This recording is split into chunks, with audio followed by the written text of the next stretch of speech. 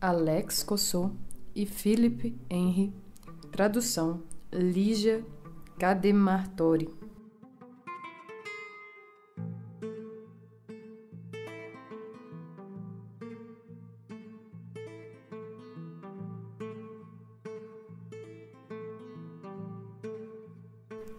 Charles, na Escola de Dragões.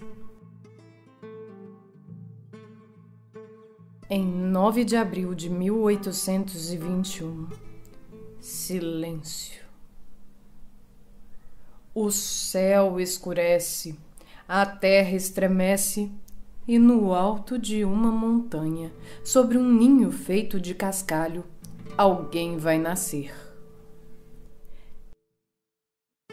É um bebê, é Charles, olhinhos risonhos, narinas inquietas, bigodes finos, escamas frágeis, barriga magrinha.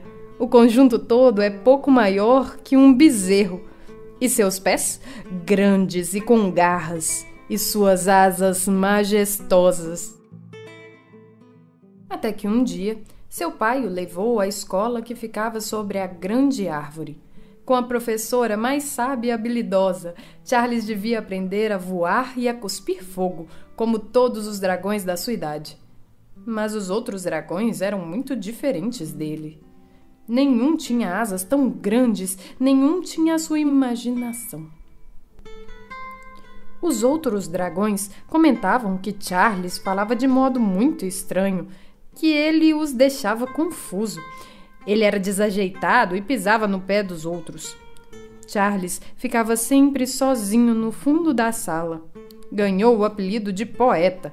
Todos o olhavam com cara feia.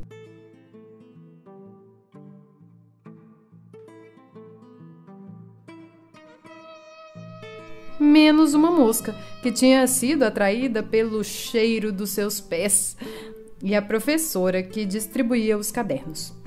Primeira lição, disse a professora. Para cuspir fogo, comecem por abrir a boca bem grande. Encham bem os pulmões, liberem a garganta e então cuspam. No início, os dragõezinhos queimavam página por página do caderno. Depois, queimavam um caderno por dia. Todos menos Charles, que escrevia.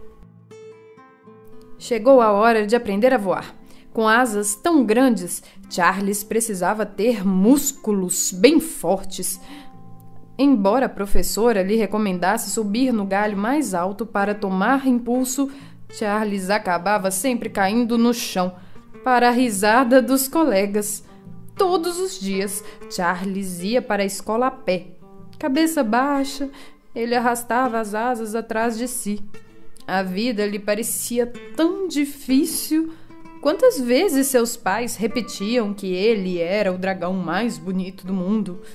E agora todo mundo o achava feio e ridículo. Chegou a festa da escola. Charles já havia escrito 18 cadernos de poesia e se sentia sempre muito só. Como os outros dragões continuavam a rir dele, Charles foi embora. Caminhou por muito tempo até parar à beira de um vulcão. Com aquelas asas e pés gigantes, sua voz fraquinha, mas parecia um gemido. Mal havia dito algumas palavras para o vulcão. Ele começou a agitar com toda a força e uma fumaça saiu da cratera.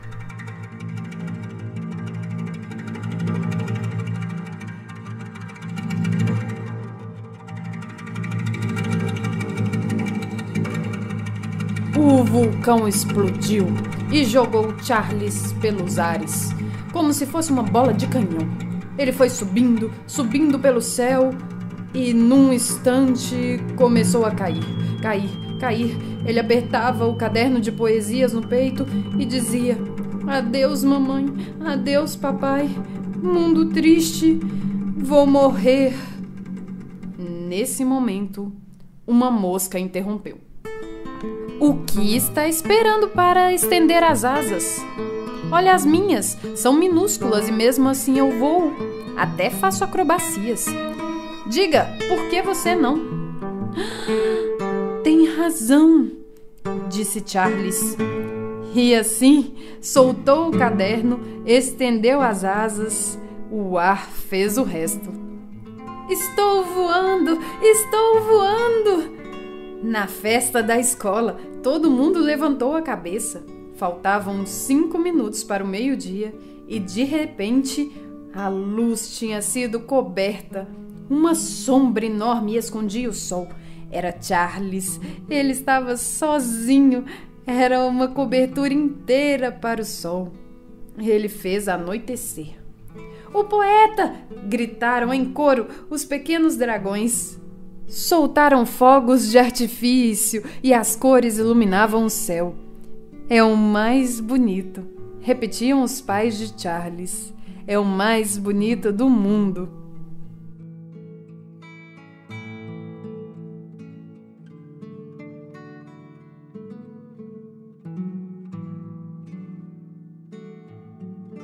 E o nosso jovem dragão se foi. Seu coração palpitava de alegria. Agora era grande o suficiente para visitar o vasto mundo. Sabia voar, sabia cuspir fogo. Então, em busca de seu caminho, ele desapareceu no horizonte, cheio de promessas. Fim.